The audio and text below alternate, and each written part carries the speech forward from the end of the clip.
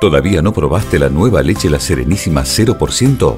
Una leche más liviana que la verde, con el mismo aporte de proteínas, calcio y vitaminas, pero con menos calorías. La nutrición y el sabor de siempre en una leche más liviana. Ahora también en botella.